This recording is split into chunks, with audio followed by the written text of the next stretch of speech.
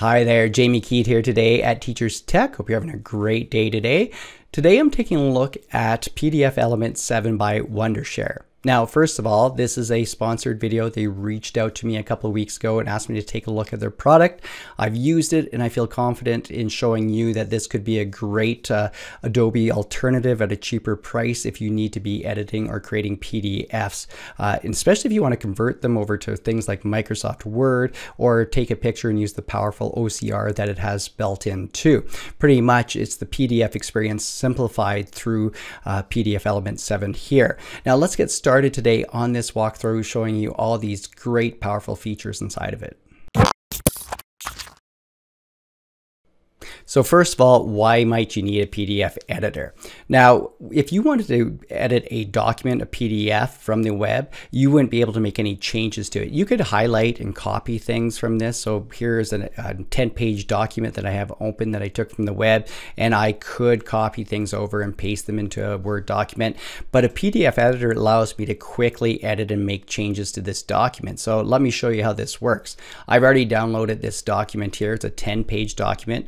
I'm going going to go ahead and open up Wondershare, uh, PDF Element 7, and you'll see right away when it opens up, uh, it's very intuitive to all the things that you can do with it. So right away you can see how I can edit PDF, create PDF, convert, batch processes. And I'm going to show you uh, how some of these key features work here um, after this. But I'm just going to go ahead and open up that file. So I'm going to go ahead and put open and go ahead to sample because that was what I had there. So then I get this file opened up here. You can see it's the 10 pages uh, through here. So I just want to show you how quick it will be to uh, edit inside this. Now I have this right away. I have, uh, notice when I click and hold, I can bring this back and forth. That's because it's on the hand here. Now that, and that allows me to move it. This, when I click this, this is a text selection. I can go through and select different things, just like when I was on the PDF. Now, the magic with the PDF editor happens when I click this right here. So when I click on this, I can start editing. So for example, let me just zoom up here so you can see a little bit more on this one right here. If I go through here, I can make changes right away. So if I just type changes here, I can start editing editing this document just like something I was doing from maybe Microsoft Word or Google Docs. If you know how to work those, you're know you're to know how to work PDF Element 7. You can see right away when I start typing, I can make changes over here to the type of font uh, I'll click on a few of these so you can see the examples from the color and making all these changes uh, through here. So again, if you're used to making these changes in a Word document, you can do this in a PDF, PDF editor very quickly. Uh, and I'll show you in a moment how you can just take a picture of your phone or scan if you were scanning something in and edit those also. Now, if I go through, I just want to point out, if you notice, you can see all the fonts are the same from the original one, which makes it e even easier if you want to maintain uh, everything the same. But I can go through and do things differently. I could go in paragraph mode, which you can see it, where it's a big chunk it goes through, or I can do line mode where it'll go one from one. So depending on how you want to edit. But there's uh, so many features that you can intuitively see how to change. So I can make, I can crop this. I can add watermarks to this very quickly. I could add backgrounds, a header, footer, and I'm not going to go through all these on this, this example. I just want to see all the things that you can quickly do. You can even add more text or an image. So if I click on add text, I could just type, and if I'll say, I'll just type text here, and I could make this larger uh, and then place it on the page wherever I want. So if I wanted this in a really large text, and make it green over here like so. And you can see as I get the handles, I can move this around. And I like how the lines come up to line things up on the page.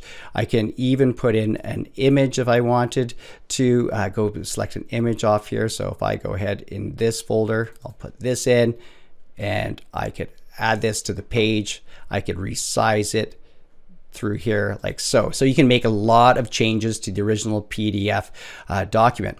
Now, the other thing I like with this is how quickly you can convert any of these things to Microsoft Word or PowerPoint or text or HTML. I'm going to go uh, just open another file. I'm going to click back to home. So this will bring me back to home.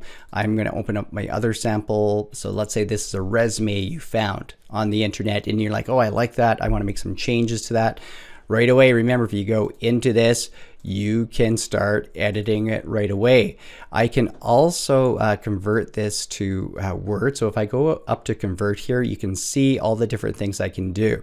Now I'm just going to, in this, example, just convert to Word, but you can see how I can do these others too. So if I convert to Word, and I'm just going to put uh, save it back in that same folder and hit finish, and I'm just going to minimize this and go into this folder and I should have a Word document right here.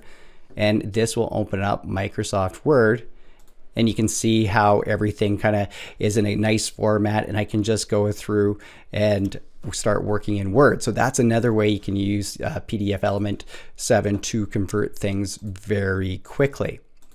I'm just going to pop this back open again. Now, Another cool feature that I really like uh, is the OCR, and I'm always curious how powerful the OCR or how it will work. In my purpose today, all I did, I went up to one of my kids' report cards and I just wanted, I took a quick pic uh, with my phone and downloaded it uh, to my computer here. There was poor lighting and everything. So what I'm going to do is just go ahead and open that file and I'm going to, it's an image right now, so it's only finding PDF. So I'm just going to go to all files and I believe it is right here, this one. So I'm going to open this up and you can see it's nothing of a great, it's just a picture of something that was laying um, on this. So it's just an image. But right now I'm going to perform OCR, which is optical character recognition. So it's going to th go through and find the uh, letters and can, can convert it and I can actually make changes because right now it's just a picture. So perform OCR. Yes, I do want to save this. I'll save first and it tells me uh, different language changes on it, but I'm keeping this as uh, English right here. So I'm going to go OK. So it's performing the OCR. It says it might take a few minutes for large documents.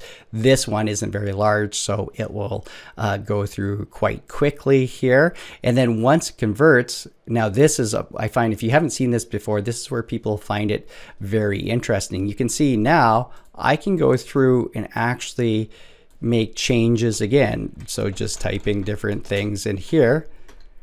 So it took the text out of just a picture on my phone and using OCR, I could go through and now I can make go through and edit this. So I could now if I had a full page of text, I could copy it over. If I didn't want to type everything out, uh, this would be a great way to save you some time. So just something I wanted to show you that I always find this OCR and it works very well inside this PDF element 7. So I'm just going to go back to home now and just show you some of the other features here. So now something like batch process here, I'm going to go click on this. So if I click on this, what that allows me to do, I can collect multiple files at once and perform perform something. So I showed you how to convert uh, before with to Microsoft Word. If you had a lot of PDFs, what you could do is add all the PDFs here, and then you could convert all of them at once. So rather than opening one at a time, it will do that all for you. So you would just drag them in. So same thing with the watermark. If I wanted to watermark all these PDFs with something, uh, I could also do it uh, rather than one at a time, just put it through a batch process. So if I was going in to convert through here, I could add my files uh, here. So if I was grabbing it, I would just go open and then you can see these are the PDFs and I hit start and it's going through and what it's going to do when they're all done is I'll go show you in the folder. So it says it's finished here. And you can see I have these Word documents inside here that all those ones were converted over. So the ability to do those batch processes is a very powerful thing. So I just touched on some of the key features of PDF Element 7, and it can still do a lot more. Things like protecting your PDFs with a password. Uh, you can create uh, forms inside this. You can share right uh, over to Google Drive. Uh, so right now, there's also I down below in the links, I have a 50% off uh, discount. So check the links on everything down below. Uh, if you try it out, let me know what you think of the product in the comments down below. So thanks for watching this week on Teacher's Tech Tech. I'll see you next time with another tutorial.